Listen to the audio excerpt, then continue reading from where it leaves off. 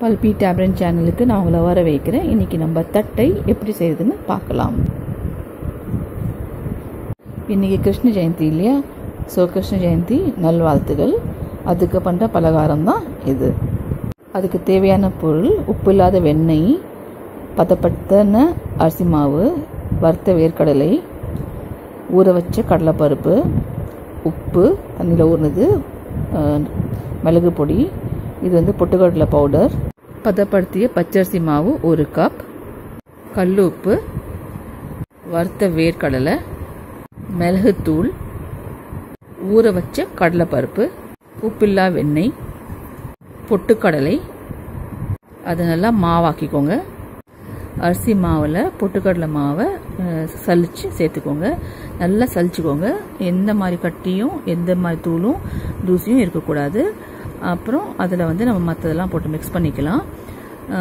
இது இரநூறு கிராம் அரிசி மாவு பச்சரிசி மாவு பதப்படுத்தினது. இது கால் கப்பு பொட்டுக்கடலை மாவு.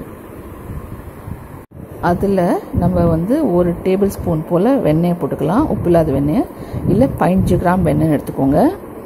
ஸோ இரநூறு கிராம் பதப்படுத்தின பச்சரிசிக்கு ஐம்பது கிராம் பொட்டுக்கடலை மாவு பதினஞ்சு கிராம் வெள்ளை வெண்ணெய் உப்பு இல்லாதது கடலைப்பருப்பு வந்து ஒரு டேபிள் ஸ்பூன் போல் ஊற வச்சு எடுத்துக்கோங்க. ஊற வச்சு எடுத்துக்கோங்க. அதுதான் நல்லாயிருக்கும். தண்ணி இல்லாமல் எடுத்துக்கோங்க. அதில் நம்ம வேர்க்கடலை அதை உரித்து தோல் உரித்து வறுத்த வேர்க்கடலை உடச்சி வச்சுருக்கோம். அதை ஆட் பண்ணிக்கிறோம். அது எவ்வளோ வேணுமோ அவ்வளோ எடுத்துக்கோங்க. மிளகு காரத்துக்கு எவ்வளோ தேவைப்படுதோ அவ்வளோ போட்டுக்கோங்க மிளகு தூள். உப்பு வந்து தண்ணியில் ஊற வச்சு சேர்த்துக்கோங்க. அந்த மாவை பிசைறதுக்கும் அது வசதியாக இருக்கும்.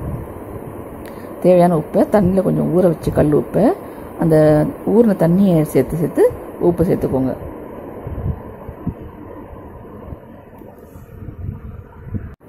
ஸோ நம்ம இப்போ இது முதல்ல வெண்ணையும் மாவையும் நல்லா பிசைஞ்சிக்கலாம். அதோட இந்த பருப்பு வகைகள் உப்பு மிளகு எல்லாத்தையும் சேர்த்து நல்லா நல்லா பிசைஞ்சு விட்டுடலாம். அதுக்கப்புறம் தேவையான தண்ணி யூஸ் பண்ணிக்கிட்டு நல்லா ஒரு ரொம்ப டைட்டாகவும் இல்லாமல் ரொம்ப தளதளன்னு இல்லாமல் நல்லா ஒரு ஆட்டா மாவு பக்குவத்துக்கு பிசைஞ்சிக்கலாம். பிசைஞ்சு நம்ம நல்லா பிசைஞ்சு வச்சிடலாம். அதுக்கப்புறம் வந்து உப்பு தண்ணி வந்து நீங்கள் அந்த உப்பு கரைய வரைக்கும் கொஞ்சம் கொஞ்சமாக அதை ஆட் பண்ணிட்டு வாங்க. அதுக்கப்புறம் இது வந்து நம்ம தட்டி ஆக்கி எண்ணெயில் வறுத்தெடுக்க போகிறோம் அவ்வளோதாங்க ஸோ இதில் டேஸ்ட்டே வந்து அந்த கடலை பருப்பும் அந்த வேர்க்கடலையும் வறுத்த வேர்க்கடலையும் கிறிஸ்பாக வரும் வாயில். அப்புறம் உரப்புக்கு வந்து உங்களுக்கு வந்து மிளகுத்தூள் இருக்குது உப்பு இருக்குது நீங்கள் சில்லி ஃப்ளேக்ஸ் கூட இதில் வேணால் ஆட் பண்ணிக்கலாம்.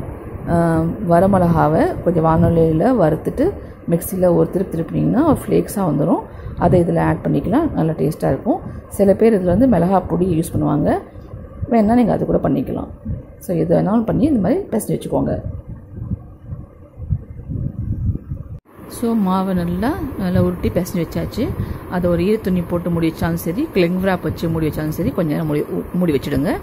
அது வரைக்கும் நம்ம வானொலியில் எண்ணெயை சூடாக்க வச்சுட்டு அப்புறம் தட்டையை போட ஆரம்பிச்சிடலாம். தட்டைக்கு வந்து நம்ம சில பிளேட்ஸ் எடுத்துக்கலாம் இல்லை பிளாஸ்டிக் ரேப்பர்ஸ் எடுத்துக்கலாம்.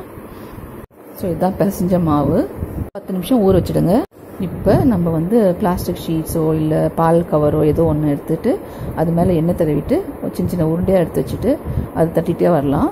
ரொம்ப மெல்சாக தட்டிடாதீங்க. ஓரளவுக்கு கொஞ்சம் திக்னஸ் இருக்கட்டும். எவ்வளோ பெருசாக வேணால் பண்ணிக்கோங்க எவ்வளோ சின்ன வேணால் பண்ணிக்கோங்க அது உங்கள் இஷ்டம். அதை பண்ணி நம்ம ஒரு நாலஞ்சு பண்ணிவிட்டு எண்ணெய் சூடாகணும்னா அதில் போட்டு வறுத்தெடுக்க வேண்டியது தான் ஸோ இது வந்து நிறையா பண்ணோம் நிறையா பண்ணி வச்சுட்டு எடுத்துகிட்டு போங்க. ஸோ எண்ணெய் சூடாயிடுச்சு. இப்போ நம்ம அதில் பண்ணிட்டு வந்த தட்டையை போடலாம். ஸோ அது பொறுமையாக சொரசொர படங்க வரைக்கும் வெயிட் பண்ணிவிட்டு திருப்பி விட்டுட்டு அதுக்கப்புறம் அதை எடுங்க. இல்லைன்னா அது கிறிஸ்பாக இருக்காது. கொஞ்ச நேரம் கழித்து சவுத்து போயிடும். அதனால் எடுத்து ஏர்டைட் டப்பாவில் போட்டு மூடி வச்சுக்கோங்க. இது வந்து மாவு காயாமல் பார்த்துக்கோங்க அதனால் இந்த மாவை வந்து நீங்கள் பண்ணுற வரைக்கும் ஃபேன் காற்று கீழே உட்காந்துருந்தீங்கன்னா மூடி மூடி வச்சுக்கோங்க. பண்ணுற தட்டையும் ஏதாவது துணி கீழே இல்லை ட்ரே கீழே வச்சுக்கோங்க. பண்ணுற வரைக்கும். அது காயாமல் இருக்கிறது நல்லது. இல்லை வெடிச்சிடும். கிராக்ஸ் மாதிரி வந்துடும் ஸோ சைஸஸ் உங்கள் இஷ்டம் உங்களுக்கு எப்படி கையில் வருதோ அப்படி பண்ணிக்கோங்க. இது ரொம்ப டேஸ்டியான ஈவினிங் ஸ்நாக் வீட்லேயே செஞ்ச தட்டை சில்லி ஃப்ளேக்ஸ் சேர்த்து கூட பண்ணலாம். சப்ஸ்கிரைப் பண்ணலைன்னா உடனே பண்ணிடுங்க. அப்போ தான் புது புது ரெசிபிஸ் உங்களுக்கு வந்துக்கிட்டே இருக்கும். இதுவரை பல்பிட்டாமின் சேனலை பார்த்ததுக்கு ரொம்ப ரொம்ப நன்றி. ட்ரை பண்ணி பாருங்கள்